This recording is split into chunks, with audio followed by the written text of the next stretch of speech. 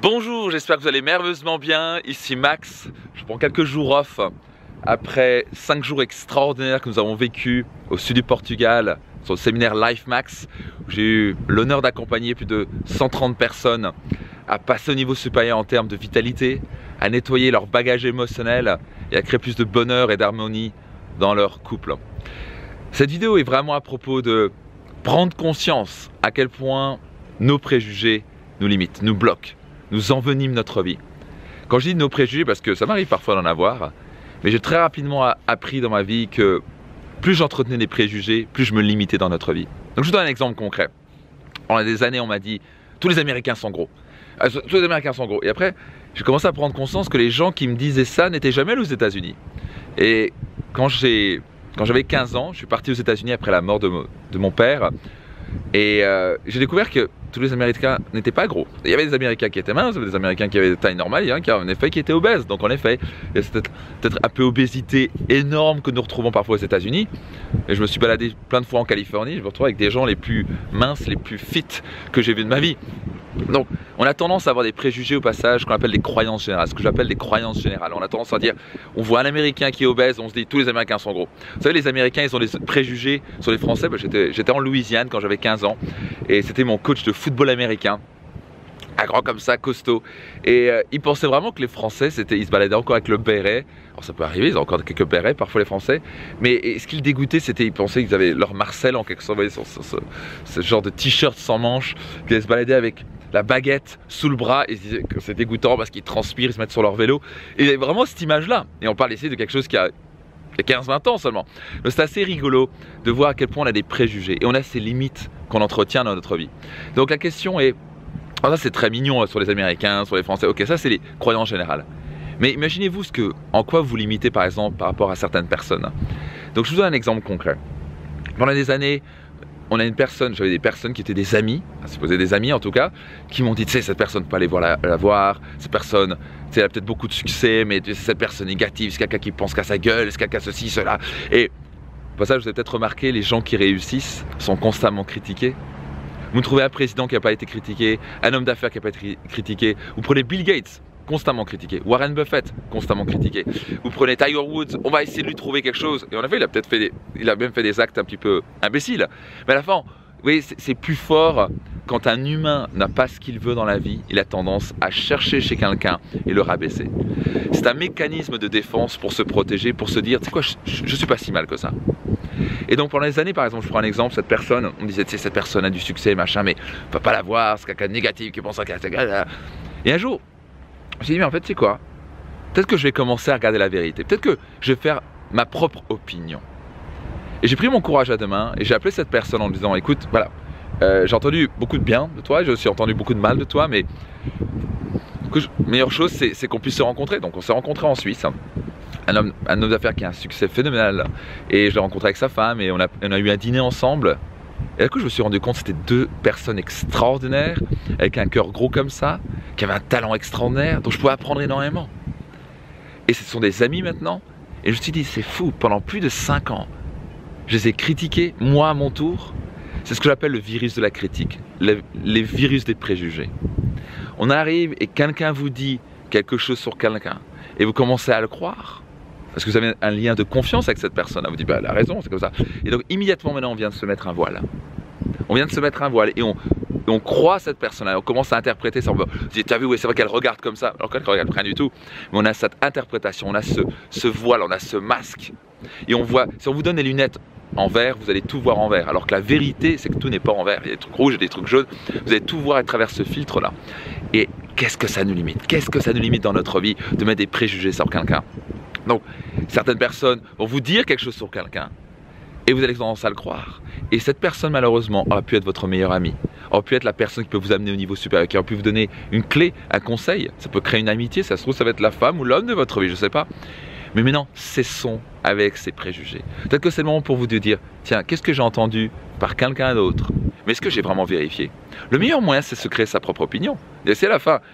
Quand on dit les Américains sont gros, etc., ou ils sont ceci, ils sont là, est-ce que vous êtes allé parler à 150 millions d'Américains?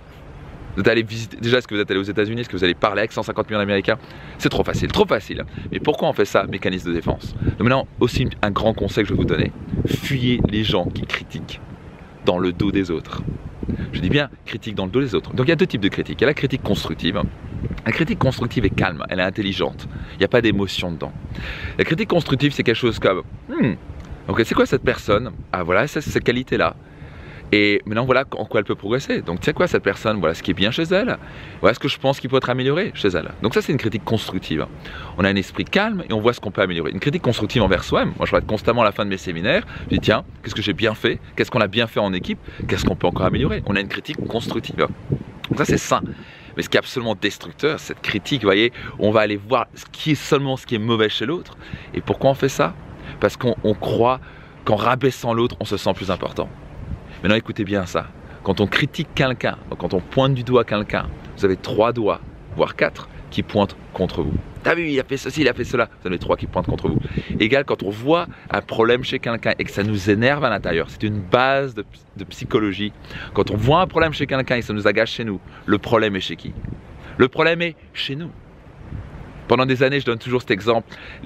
Quand j'avais environ 12-13 ans, j'avais ces frimeurs qui m'énervaient. Ouais, ces frimeurs, particulièrement en mobilette rouge. Alors j'habitais à Strasbourg et je voyais ces frimeurs, surtout quand ils avaient une mobilette rouge, ça m'énervait, ce qui c'était frimeur. En fait, la réalité, c'était que j'étais le frimeur. Je voulais frimer. Je voulais avoir cette mobilette rouge. Pourquoi? Parce que je me suis dit, avec ça, j'aurai les, les, filles. Je vais être reconnu et les filles vont vouloir sauter dessus, ce qui est totalement faux, mais c'était ma perception. Le jour où j'ai réglé ce problème avec moi, c'est très simple. Ben, j'avais plus de problème avec les frimeurs. Parce que d'un coup, je voyais juste un jeune sur une mobilette rouge qui passait. Il n'y avait plus de réactions chez moi. Fuyez les gens qui critiquent dans le dos des autres. Ou simplement dites-leur, écoute, arrête de critiquer quelqu'un. Est-ce que c'est quoi Tu me dis quelqu'un, quelque chose sur quelqu'un. Ah, ok, alors prenez votre courage à demander. Écoute, c'est ton point de vue. Maintenant, apparemment, tu as une critique, as une critique certaine chez cette personne-là, ça a l'air de t'agacer. Et apparemment, ce que j'ai appris par Max Piccinini, c'est que la base psychologique, quelque chose qui nous agace chez quelqu'un, le problème est chez nous. Donc c'est quoi? Je vais me forger ma propre opinion. Je vais aller voir cette personne. Je vais aller discuter avec cette personne-là. Je vais vraiment me forger ma propre opinion et je peux avoir une critique constructive. Je peux me dire, ça c'était top, ça c'est ce que j'ai adoré. Et peut-être qu'il y a des choses que que j'aime peut-être un peu moins bien aimé, et ça c'est ok, mais au moins j'ai appris quelque chose. Dès que vous êtes dans vos préjugés, dès que vous êtes dans la critique destructive, vous n'apprenez pas, vous restez bloqué. Et savez quoi? Vous, pouvez apprendre de chaque, chaque personne. Nous pouvons apprendre de chaque personne. Il n'y a pas une personne que je ne peux pas apprendre. Il n'y a pas une personne de passage supérieur ou inférieur à nous, ça n'existe pas. Il y a même le clochard dans la rue, vous avez, ils, ont quelque chose à nous apprendre.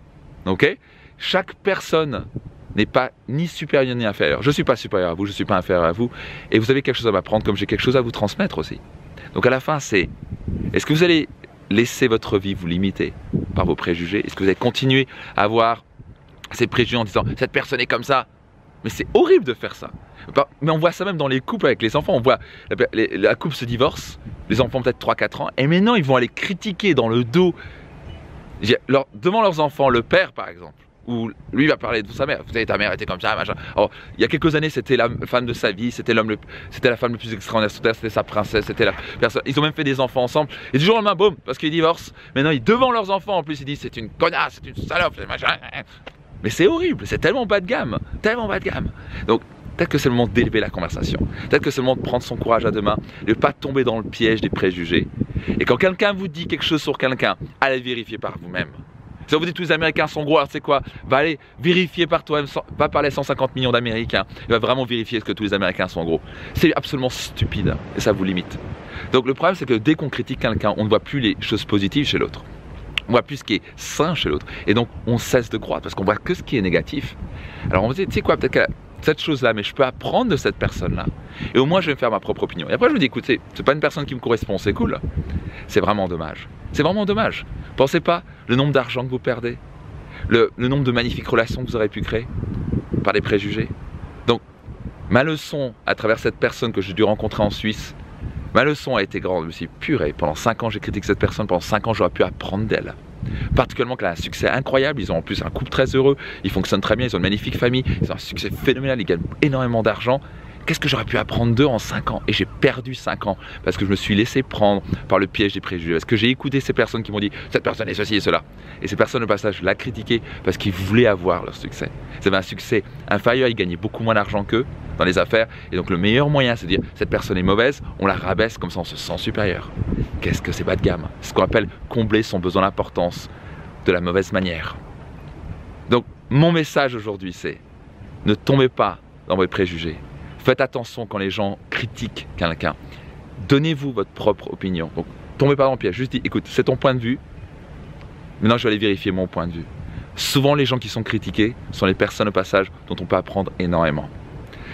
J'espère que cette vidéo vous a aidé. Si vous avez aimé cette vidéo, je vous invite à cliquer sur le bouton j'aime, à la partager tout autour de vous. Et quoi qu'il arrive, je me réjouis de vous retrouver très prochainement dans un de mes programmes ou un de mes séminaires pour vous accompagner à passer au niveau supérieur dans votre vie. Je vous souhaite tout le succès, tout le bonheur et je vous dis à très vite. Bye bye.